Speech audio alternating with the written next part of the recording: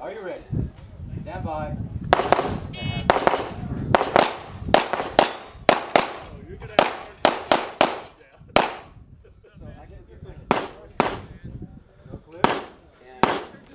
focus on